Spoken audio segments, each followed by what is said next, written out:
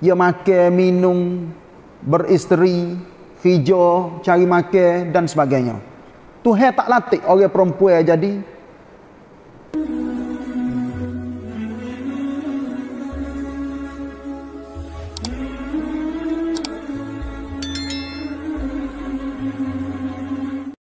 nuhi ilaihim فاسألوا أهل الذكر إن كنتم لا تعلمون وما جعلناهم جسدا لا يأكلون الطعام وما كانوا خالدين ثم صدقنا ثم صدقناهم الوعد فأنجيناهم ومن نشاء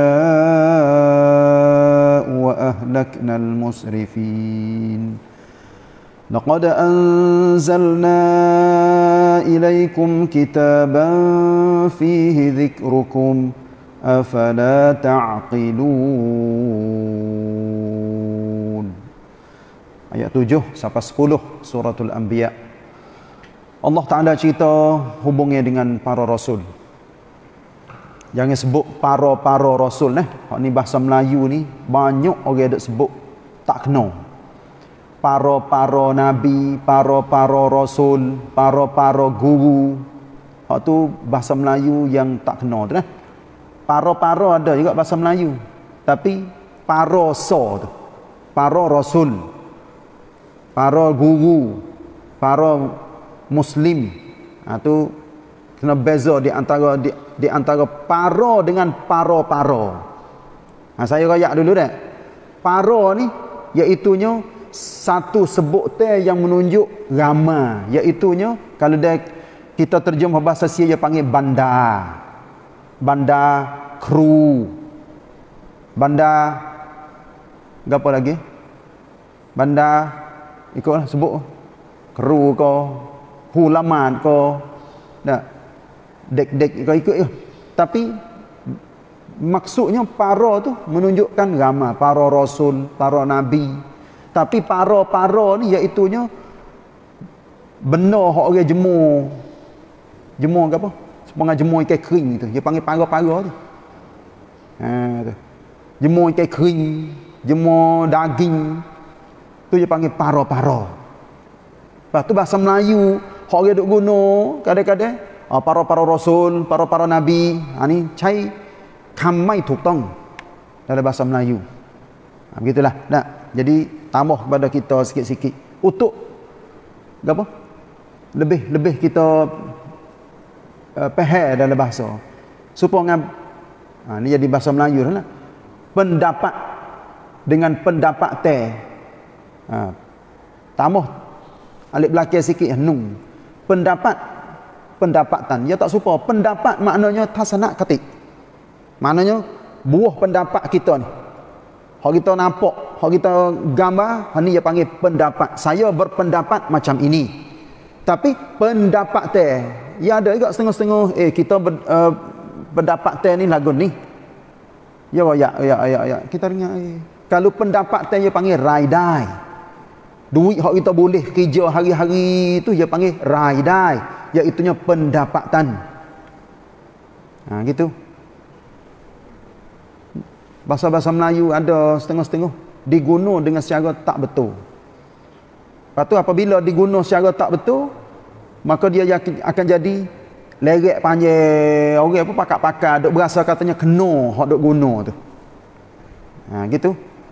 Lepas tu kalau dia kita kaji apa bahasa-bahasa Melayu tempat kita ni banyak ke kadang-kadang pai guna tak kena ha, jangan memandu selepas arak ada ada di pai tahan jangan memandu selepas arak apa waktu lah terjemuh Google ni panggil. Terjemuh yang ambil dalam Google lepas tu gitu leh jangan bawa kereta lepas pada arak apa nama tahu? Dia nak royak katanya apa mau mai khap hmm. mau mai khap jangan memandu selepas arak Masya Allah darak-darak sungguh bahasa Melayu tempat kita. Lepas tu tulis sel pula tak kena pula. Nah. Ha? Gitu. Nah. Bahasa Melayu punuh. Punuh. Sebab tu rojoklah kepada ahli bahasa belum pada nak tulis pai gapo-gapo nak tok mana-mana tengok dulu nak uh, apa Eh, bahasa tu kena ke tak. Lepas tu kadang-kadang orang Melayu minta minta maaf dah, minta maaf sungguh-sungguh. Uh, tulis pasal tak tak kena, lepas tu orang pergi pukul gambar, kita pun suka-suka sore. Eh, uh, karuna thot rong tau. Nah, thot tu mana? Gorang. Ya nak tulisnya karuna thot rong tau, gitu tulis jadi karuna thot rong tau. Orang sia mari baca apa? Oh, selipar kena gorang habis kasut-kasut. Itulah. Alhamdulillah masuk dalam dalam ayat tujuh di dalam suratul anbiya. Dan kami tidak mengutus rasul-rasul. Ha tengok, dia sebut rasul-rasul, dia tak sebut para rasul. Ha ni Kena, dia guna. Kalau sebut Rasul, ramai-ramai Rasul-Rasul. Dan kami tidak mengutus Rasul-Rasul sebelummu, wahai Muhammad, melainkan orang-orang lelaki yang kami wahyikan kepada mereka, maknanya bukan malaikat. Jin-jan selalu dah. Katanya bukan malaikat. Sebab apa tu? Jenis manusia, ia makan, minum, beristeri, hijau, cari makan dan sebagainya. Tuhan tak latih orang perempuan jadi jadi rasul. Walaupun ketinggian dan darajat orang perempuan setengah-setengah yang disebut di dalam Quran kadang-kadang tingginya hampir-hampir sama nak-nak sama dengan rasul. Dan kepujian Allah Taala terhadap orang-orang perempuan setengah-setengah alhamdulillah. Nak ayat katanya mulianya dia. Saya misal mudah-mudah ni tak? Orang perempuan yang disebut di dalam Quran hak mulia. Maryam. Asiah isteri Firaun. Ha tengok. Kalau kalau Maryam tu ya ya mai mai apa ni? Tak ada tak ada tak ada sakut dengan orang tu dengan orang ni. Dengan seteru ke dengan apa dia hanya Allah Taala uji dia melalui gi mengandung gi perut besar tu dengan tidak ada lelaki, tidak ada suami. Tapi Asiah Firaun Asiah ni tak ada sebut nama dia dalam Quran, tapi sebut di dalam hadis Asiah. Dia ni kena duduk sekali dengan tok lelaki dia Firaun, masya-Allah. Firaun ni sub-sub manusia hak pasal ganah, deraka, tapi Asiah ni masya-Allah sub-sub salihah yang duduk di dalam istana Firaun sebagai isteri Firaun. Tengok tak serupa. Lepas tu banyak ada lagi setengah-setengah orang perempuan yang tidak disebut nama. Tapi sebut sifat yang ada di dalam Quran. Ha, ini ayat katanya klik kepada tajuk sana ni. Allah Taala tak latih orang perempuan jadi rasul. Allah Taala latih lelaki sebab kesesuaian maknanya gagah cerdik bijak lepas tu ni sebut di dalam ayat ni dah lelaki orang-orang lelaki sebut di dalam surah Yusuf iaitu rijalan min ahlil qura akhir surah Yusuf Allah Taala ayat katanya kami tidak hantar rasul kecuali orang lelaki yang mari daripada bukan ahli qura tu ahli kampung tak Artinya orang maju. Rasul semua tiap-tiap orang ni adalah orang bertamadun. Orang cerdik, orang bijak. Sebab itulah ulama dia tak kurang-kurangnya sifat Rasul ni pak perkara bukan? Budak-budak sekolah tadika dia ngaji. Siddiq, amanah, tabligh, fatanah. Budak-budak ada ngaji. Tu hak ulama ambil daripada sifat-sifat Rasul. Sifat Rasul ke apa? Benar, siddiq, dia tak pelawak dia sesat dalam hidup dia juru Allah Ta'ala pilih orang nak jadi rasul ni adalah orang terpilih lepas tu bukan tamnai akak tangi sana tuan nak jadi rasul tak, tak ada Allah Ta'ala semata-mata pilih mu jadi rasul mu jadi nabi mu jadi nabi mu jadi rasul mu kena kerja sebab agama Yang kedua, amanah. Rasul tiap-tiap orang adanya amanah. Masya Allah, ni tinggi dah. Sifat tinggi-tinggi belakang ni. Lepas tu, tabligh. Tabligh artinya menyampai. Tuhan rakyat sendiri kepada Nabi. Baligh ma unzila ilaika min rabbik. Ni rakyat cok-cong kepada Nabi. Time-time lalu. Siapa dah apa yang diturunkan kepada mung Muhammad dari Tuhan dari Tuhan maknanya Quran siapalah Quran lepas tu nabi-nabi lain wa ma 'ala rasul illa al-balaghul mubin tidak ada khijah yang lebih penting bagi tiap-tiap orang rasul kecuali menyampai yang nyata catin yang nabi-nabi rasul-rasul duk siapa so lagi apa fatanah fatanah artinya cerdik bijak Ha tu orang bodoh tak boleh jadi rasul dah. Tuhan tak latih orang bodoh jadi rasul. Orang pasal lambat, betak, kerja eh pasal tak ada rabuk. Tak ada rabi apa nai Tuhan tak tak, tak latih orang jadi rasul. Jaya tak jaya suku kira. Rasul-rasul dalam Bani Israel ni banyak kena bunuh. Ha tu. Tuhan royak peraknan kata kepada orang-orang Yahudi. Katanya apa munduk bunuh? rasul-rasul, nabi-nabi dalam kalangan kamu. Wa yaqtuluna al-anbiya bighairi haqq. Ini tu heraya. Mereka itu bunuh rasul-rasul, nabi-nabi dengan tidak ada alasan. Jadi nampak katanya beci kepada nabi, bunuh. Siapakah Nabi Muhammad sallallahu alaihi wasallam sendiri pun orang Yahudi wang pen tak tahu apa kali nak bunuh. Ha ni nak ayat katanya jaya tak jaya Allah Taala tak tanya Rasul katanya mujaya kedak kerja mung. Tapi Allah tanya sikit lagi iaitu nya mung siapa lagi ajari aku. Padahal Allah Taala lebih tahu. Ha ni gitulah. Allah raya di dalam ayat 7 suratul anbiya ni iaitu rasul dari kalangan manusia. Nah, bukan malaikat dak. Ada terjemuh di dalam pimpinan Ar-Rahman ayat itu apa ni? Nombor 942. Bagi menolak pahami kaum kafir musyrik yang mengatakan bahawa seorang rasul itu semestinya dari malaikat. Ha, ini pahami salah.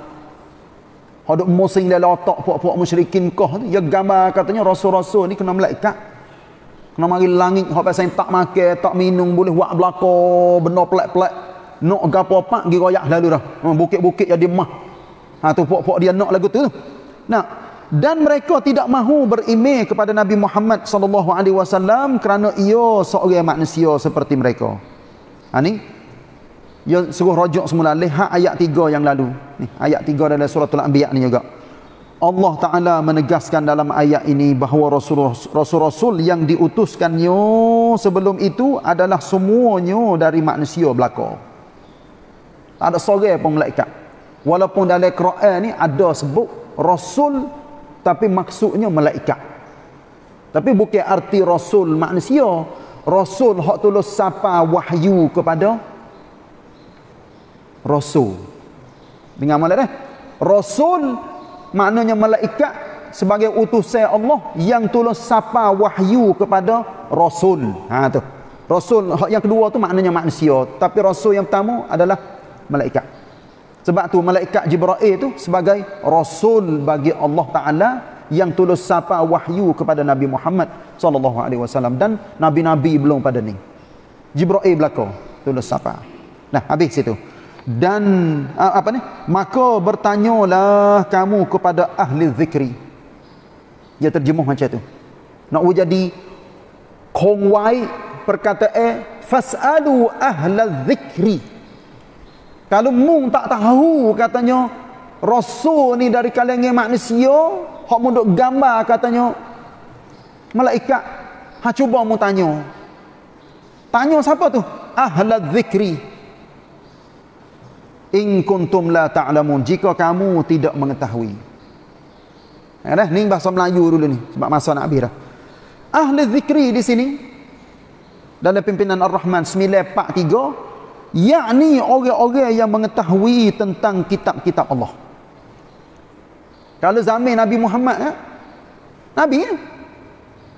lepas tu orang yang biasa baca kitab-kitab belum pada tu yang akidah betul dan tidak menyeleweng. Ha, ni dia tahu katanya rasul-rasul semua tu adalah lelaki belaka bukan malaikat. Nah, manusia belaka bukan malaikat.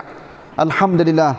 Orang yang mengetahui tentang kitab-kitab Allah ayat ini menjadi dalil bahawa orang-orang yang tidak mengetahui sesuatu perkara hendaklah bertanya kepada orang-orang yang mengetahui. Ha, ni sebagai nak jadi pecah buku.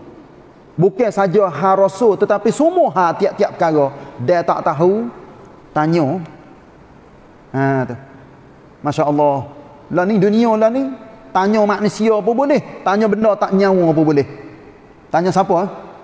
maha satrajan dok, doktor google. Tahu habis. Buka apa apa apa apa tekan apa apa ya ayat habis. Go tu go ni go tu walaupun semua tiap-tiap perkara tidak bukan semua tiap perkara ada dalam Google. Tapi insya-Allah benda pasal ini boleh memberi kemudahan kepada kita. Terutamanya tanya orang yang reti sungguh. Ha ni terutama sekali ha-ha agama ha-ha kehidupan nak kena tanya. Belum pada kita nak pergi buat sesekara saya royak dengan sungguh-sungguh ni jangan long metam dulu baru nak pergi tanya tapi belum pada nak buat, tanyalah dulu. Ha, tu gitu. Barulah kena cara hidup. Nah, akhir sekali terutama dalam soal-soal agama. Ni yang besar sini. Ha-ha agama ni dia sakut dengan halal, haram, makruh. Nah, wajib. Apa bagaimana kita nak buat? Kadang-kadang kita long mensiap dah, buat dah. Baru mari bersesar belakang Allahu akbar. Aku buat lama dah buat dengan jahit okey gitu tak tak reti apa sekarang. Saya akhiri dengan sebab masa nak habis dah iaitu nya di zaman Nabi sallallahu alaihi wasallam. Nabi duduk dalam satu musafir. Ramai-ramai sahabat Nabi dia tidur waktu malam. Nabi sang suruh tidur. Tidur di tengah pada pasir. Nak jalan tak boleh. Tak nampak. Berehat di tengah-tengah pada pasir ada seorang sahabat dia mimpi tu bi aimani nak tanya Nabi Wasa tak gamuk. Orang hak mimpi ngiga tu bi air mandi saat ni dia kelik daripada perih. Ada luka. Luka di tubuh dia situ sini situ sini. Nak tanya Nabi dia tak gamuk. Tanya kawan guru sahabat juga. Eh, kawan mimpi ni tu bi air mandi. Pana buat apa tu? Sahabat tu ayat atau gini mung telanje. Mung hidup jauh sikit. Tengok orang tak ada dah mung telanje situ, mung guling guling guling guling guling atas pasir. Sebab apa? Sebab nak we kena supaya mandi kita duk mandi wajib. Itu kena rata air tubuh badan kita. Buat kau dia ni ni seorang ni royak eh? sahabat hak luka mipi sat ni di tengah-tengah pada pasir. Tengok orang tak ada dah tuan yes itu. Guling guling dang dang dang dang dang pasir masuk dalam luka dia. Duk tak lama? Sebentar ya? Mati. Dia dah sakit dah. Pasir masuk habis dalam luka Orang royak. Nabi ada sahabat kita seorang mati ni. Nampak mati pelik ni. Gi tengok tengok sahabat mati masya-Allah. Dengan luka dia pasir masuk habis. Nabi tanya, "Buat apa ni?" Berita pecah lalu. Tak ada kena ular eh? Tak ada kena ular dah. Berita pecah katanya, ni. Yang dirayak suruh suruh guling. Nabi kata mung bunuh dia. Ha. Hak sebenarnya mung bunuh dia, apa mung tak tanya? Kalau tanya sepatutnya. Apa tak tayamum? Kecek mudah-mudahan ini jawab apa ni? Apa tak tayamum? Sebab orang uzur, orang sakit, orang tak boleh guna air. Tayamum. Walaupun dia mimpi sekalipun. Bukan arti nak nak ambil air semaya saja. Untuk mengangkat hadah besar pun. Tayamum. Baru sahabat kerti. Nabi besar tak reti tanya. Ha inilah kunci dok rek bagi kita tak reti kita tanya. Jangan malu tanya. Lepas tu tanya kalau misal katanya puasa tak puas hati ni saya tambah ni. Tak puas hati, tanya banyak-banyak orang. Ya tu orang alim, ya ni ustaz, ya tu doktor, ya ni tok guru, ya ni babo, tanya banyak-banyak orang. Nampak katanya pensiang acak, klai-klai kan, muen-muen kan. Tak apa dah tu, ya lah tu. Kalau tanya seorang boleh jadi tak puas hati. Ha tu, gitulah. Ni dalam masyarakat kita terutamanya hak ugamu mesti kena tanya we jadi catin we jelas orang jawab pun jawablah we kemah. We jadi kalau ada khilaf ulama kata lagu tu lagu ni lagu tu ni wayak berabi barulah orang ngaji orang orang dengar pun berasa puas hati. Nah sekadar inilah. Satu ayat pada hari ini. Wallahu a'lam. Wa sallallahu ala nabiyina Muhammad wa ala alihi wa sahbihi wasallam wassalamu alaikum warahmatullahi wabarakatuh